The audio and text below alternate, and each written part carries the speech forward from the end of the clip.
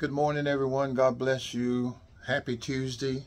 This is another day that the Lord has made. We are rejoicing and we're glad in it. So glad to be here with you on this Tuesday morning. And this is May 16th. And we're just moving right along in this month, right along in this year. God is just so great and he's just greatly to be praised. You know, there are so many things that are going on in the world all around us. And, um, you know, my concept of resolution to the problems that we have in this world is through prayer. I believe that prayer still changes things. I believe that prayer uh, is still effective uh, because the Bible says that the effectual fervent prayers of the righteous uh, avails much. And I think it still works when we pray. So as we're living in these perilous times, these dangerous times, the devil is really running rampant and he's doing everything that he can to destroy and to overthrow uh, the will and the purpose of the children of God.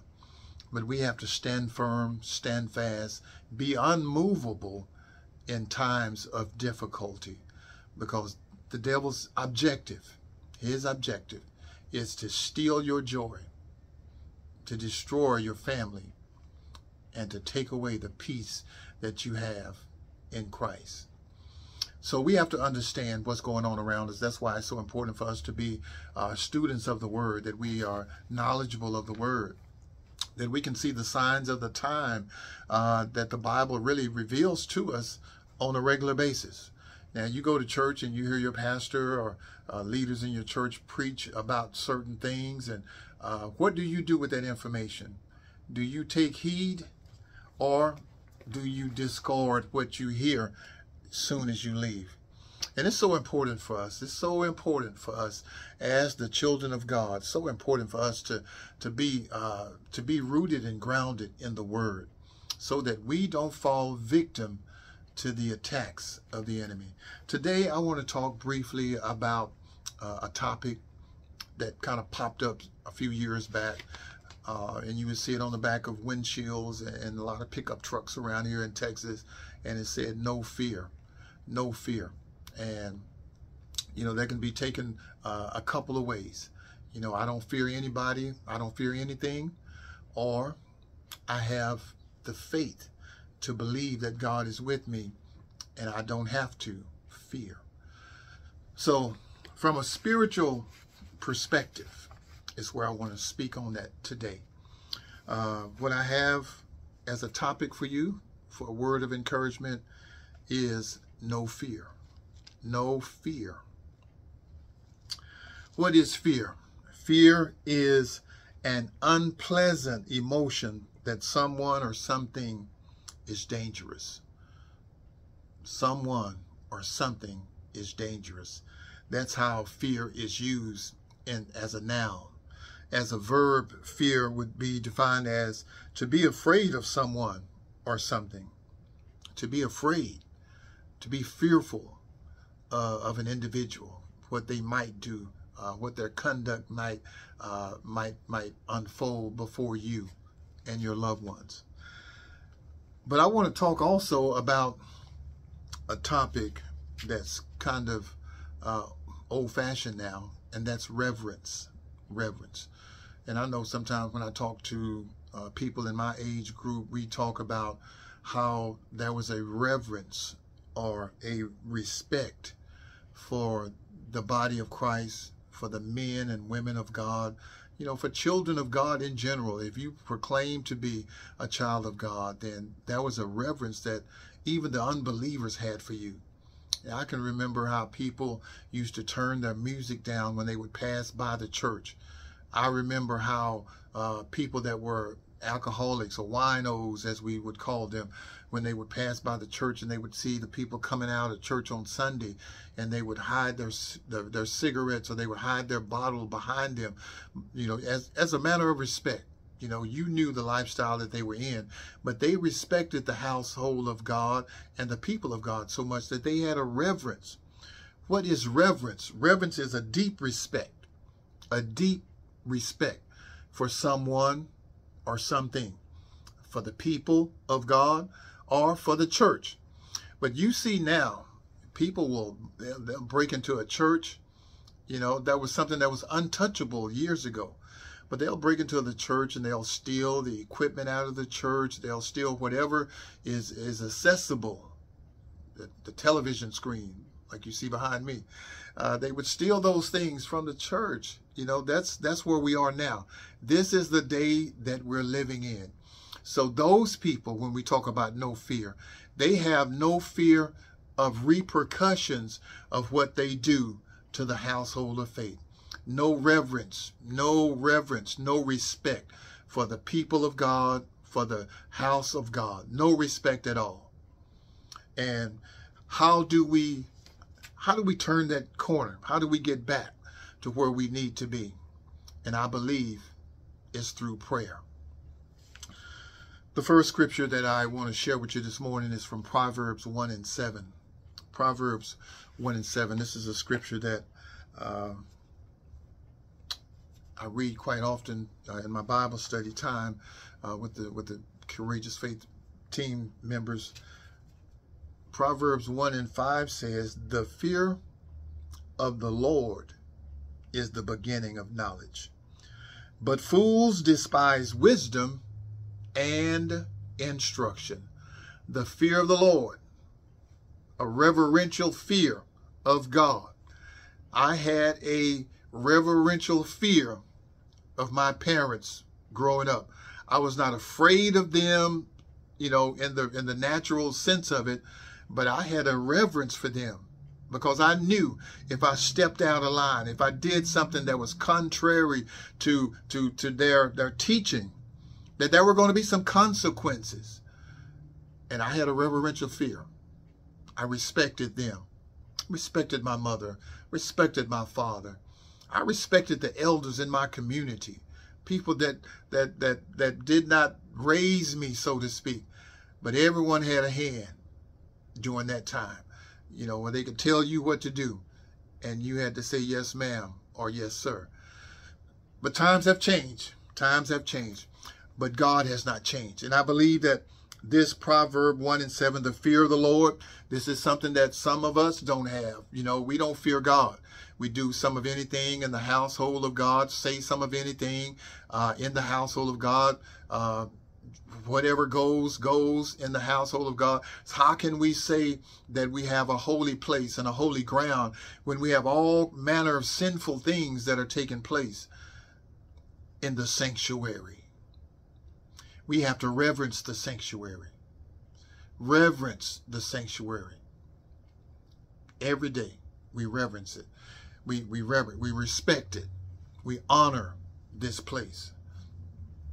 My next scripture I want to go to is uh, 2 Timothy 1 and 7. Very familiar scripture to you all. 2 Timothy 1 and 7. For God has not given us a spirit of fear. God has not given us a spirit of fear. Where did this fear comes from? Where did it come from? We're not talking about a reverential fear. We're talking about that fear where you are afraid of someone or something, that you're fearful of the future, what might happen. It hasn't happened, but you build a scenario sometimes and you're you're in fear based on what could happen, what might happen.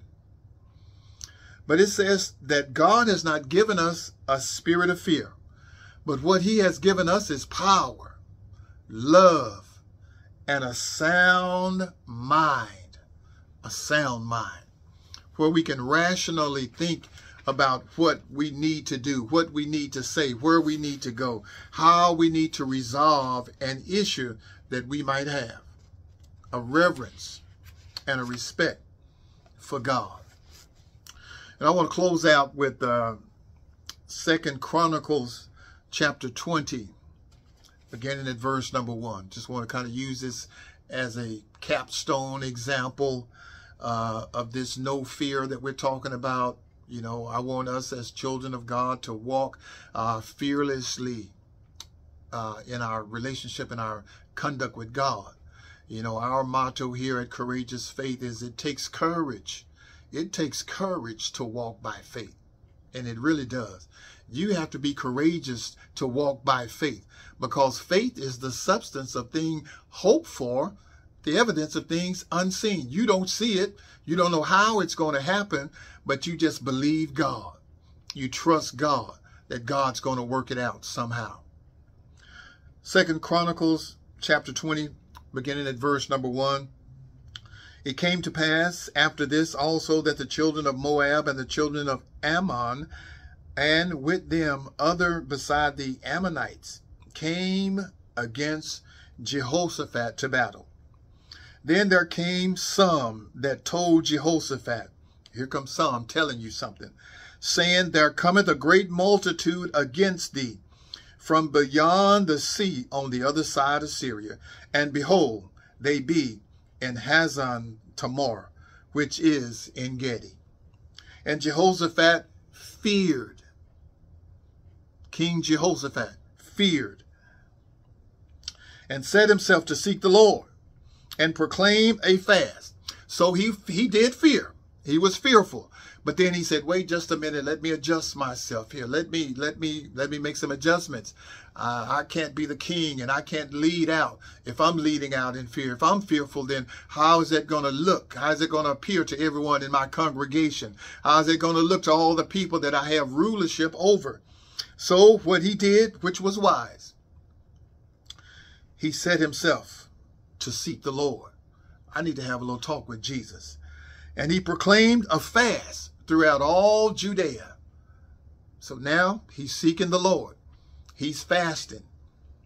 And Judah gathered themselves together to ask help of the Lord. Even out of all the cities of Judah, they came to seek the Lord.